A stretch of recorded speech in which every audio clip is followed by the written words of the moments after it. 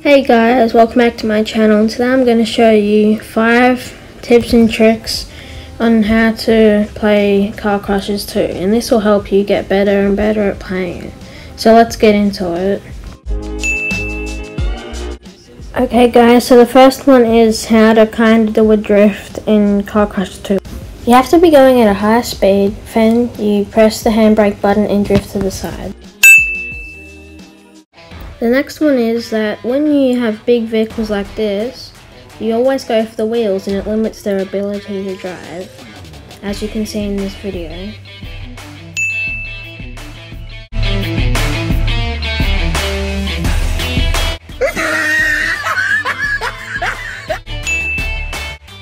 I think this is the best starter car, which only costs 500 coins, and it's really good at wrecking other cars. This is what it looks like.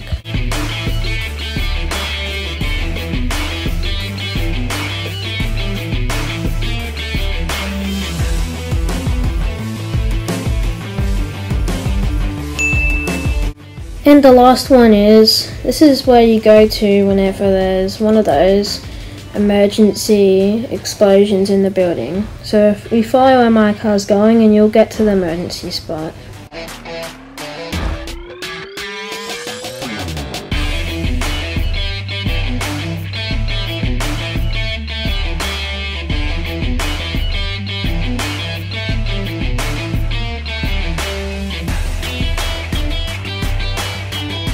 Anyways guys, that's it for now. Thanks for watching and remember to like and subscribe. Bye for now.